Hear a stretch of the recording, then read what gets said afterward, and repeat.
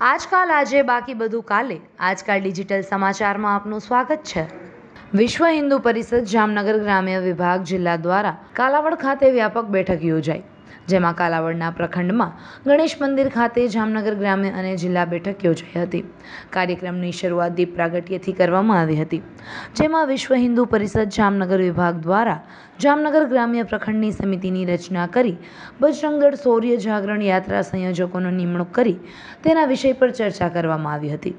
જિલ્લાના અને પ્રખંડના જવાબદાર કાર્યકર્તાઓએ હાજરી આપી આગામી સમયના બજરંગદળ શૌર્યયાત્રાના કાર્યક્રમ અંગે વિસ્તૃત ચર્ચાઓ અને અલગ અલગ પ્રખંડની જવાબદારો નિમણૂક કરવામાં આવી હતી.